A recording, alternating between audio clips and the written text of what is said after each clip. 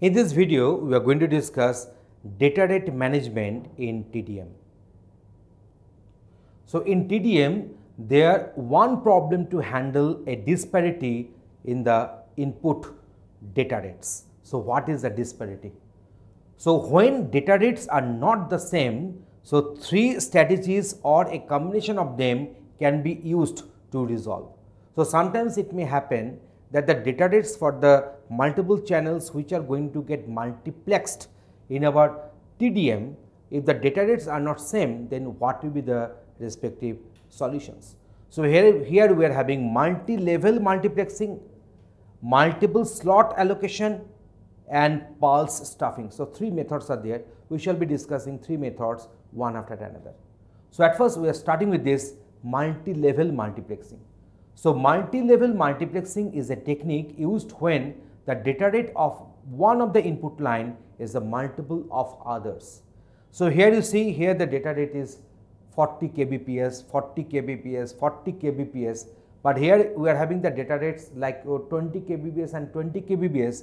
So what will happen for 20 kbps we shall take another one, another channel we will be taking. So that is a 20 kbps and 20 kbps.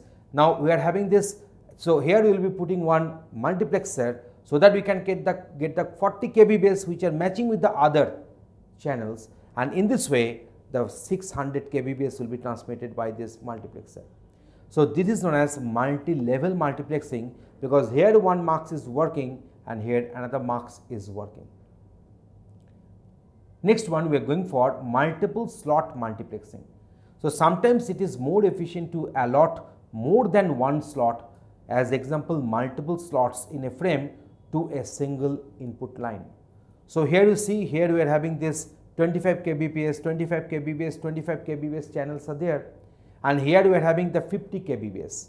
Then what will happen? We shall go for the demultiplexer here.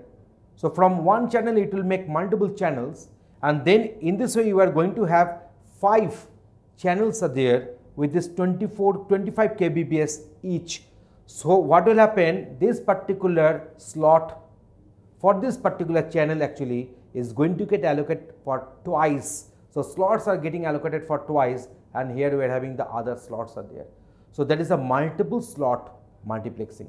So the input with a 50 kilohertz data rate has two slots in each frame as it has been depicted. So ultimately we are having this 25 kbps of ultimately 5 channels are entering. So, here, we are having 25 kbps in total. Next one we are going for the pulse stuffing. So, there may be a situation where previous two methods are not applicable. Sometimes the bit rates of source are not multiple integers of each other. So, now here you see here we are having this 50 kbps, 50 kbps is the respective data speed there is a 46 kbps is the data speed. So, obviously 56, 50 kbps is not integral multiple of 46 kbps. So, here we can make some pulse stuffing. So, we are inserting some extra pulse so that the data rate will become 50 kbps again. So, now we are having all the uniformity. So, after multiplexing we are getting this that is a 150 kbps is the respective data speed which will be passed through the respective media.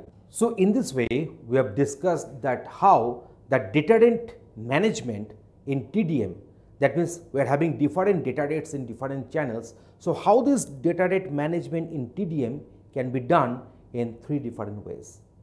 Thanks for watching this video. Tutorialspoint.com Simply easy learning.